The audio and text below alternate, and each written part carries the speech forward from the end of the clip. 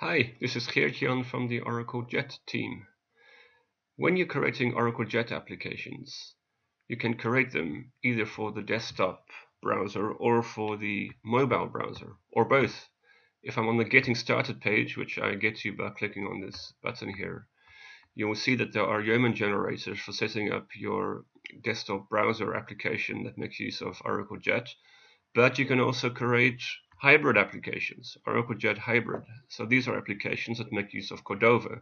When you click on this link, you find yourself on this page, which describes the Oracle Jet Hybrid mobile application development process in quite some detail, including the different templates that are available and the command line that you can use for setting up those applications, as well as how to build the applications via Grunt and how to serve them up to different endpoints.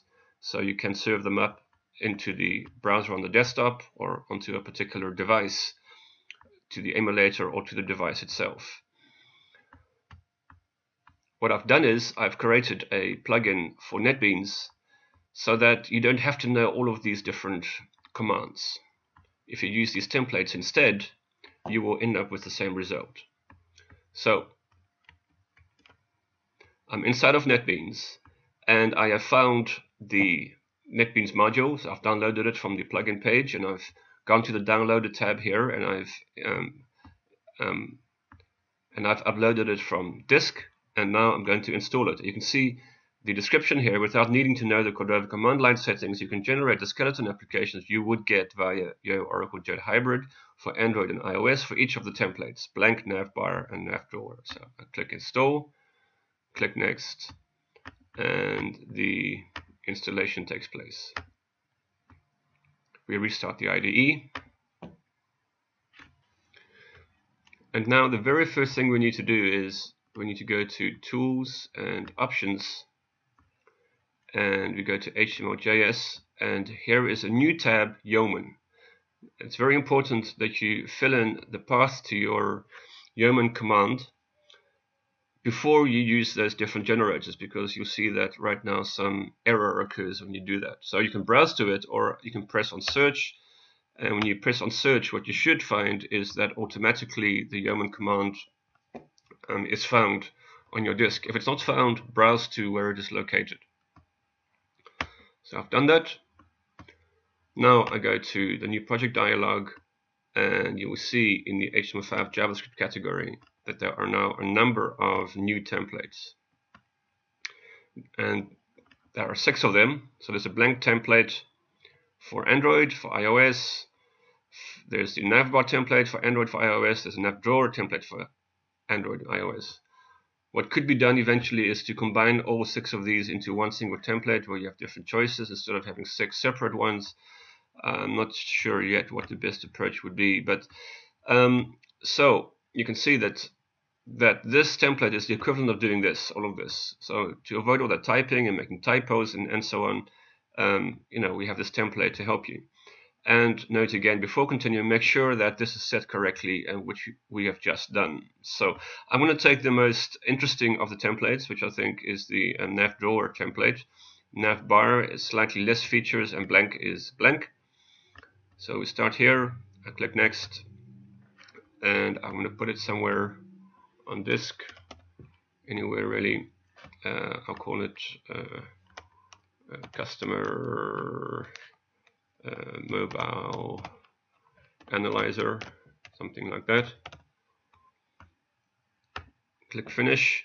And now the yeoman process begins which takes quite a while. It takes quite a while on the command line and it will also take quite a while um, in NetBeans um, um, but what you will see as the processing takes place um, in the output window of NetBeans, you will see what's going on. And you can see immediately that the template that we've specified has been selected.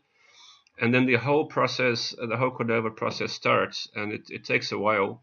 So um, we won't see all of it within this um, screencast from beginning to end. We're going to skip a bit, um, but you'll see everything as it happens.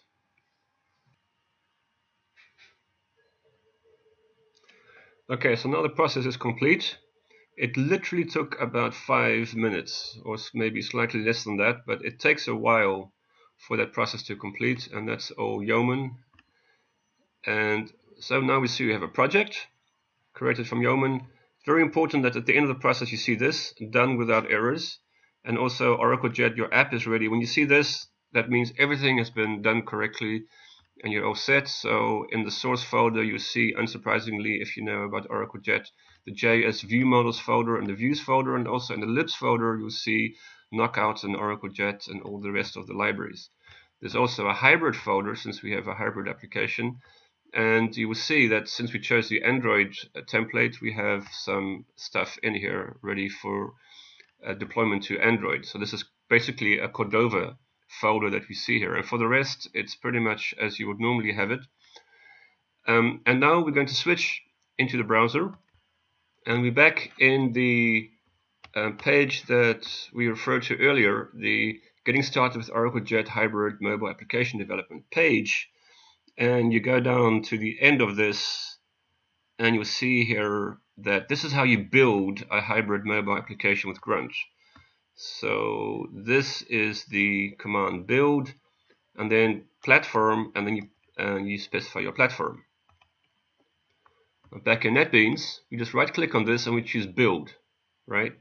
And you get this dialog, do you want to configure project actions to call grunt task? You say yes, and you can see what build project means. So right now it just means this, but what we want it to mean is build and then also this argument platform is Android.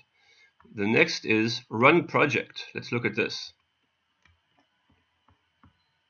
I'm back in the browser and what would run project mean for us?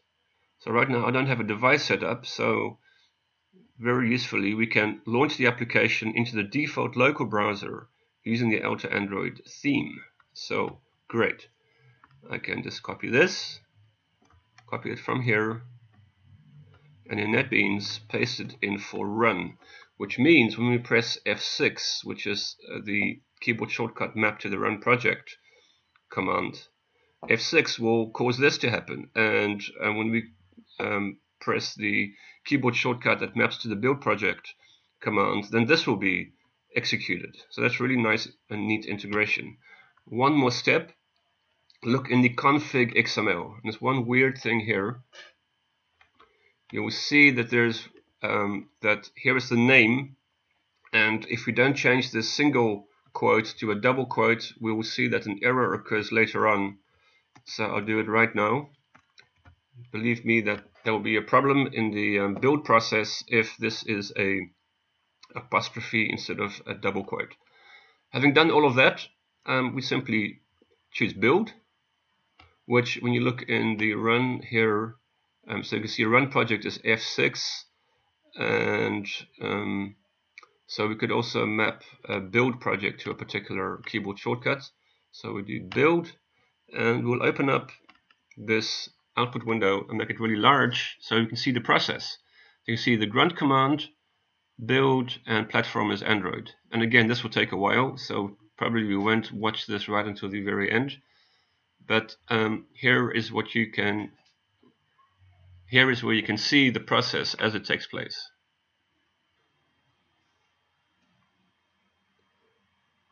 At the end of the process, what you should see is build successful and the total time it's taken and you will see your APK file.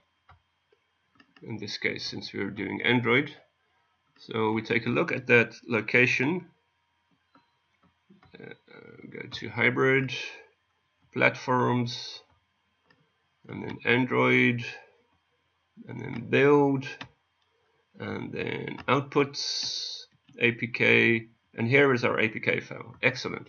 So okay um, we've built it. Let's now run it. So remember um, we have the grunt serve set up for this which means the browser will open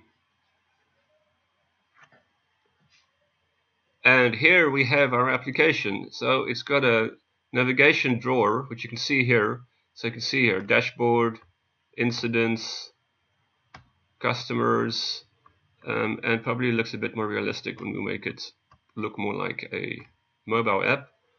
So we have now a starting point for a real um, mobile application with uh, with one of these drawers on the side already built in for us and with placeholders for incidents, customer suppliers, and profile, which when we look in the structure here, you can see in view models we have here customers, incidents, profile, and suppliers, and in the views we have the, the, the view of each of these. So immediately we can begin working with them. Um, and we can fill in these placeholders and we have now the basis of a very nice professional looking enterprise application in JavaScript built on top of Require and jQuery and Knockout and all of the libraries that make up Jet. Plus we have access to all of the charts and components that Jet provides. In other words, with the plugin installed into NetBeans, we can use the Oracle Jet hybrid Yeoman generators from within NetBeans, and we can also build the generated project and serve it up wherever we like to each of the endpoints that Oracle Jet supports. With that, have fun with Oracle Jet, with NetBeans, and with hybrid mobile development.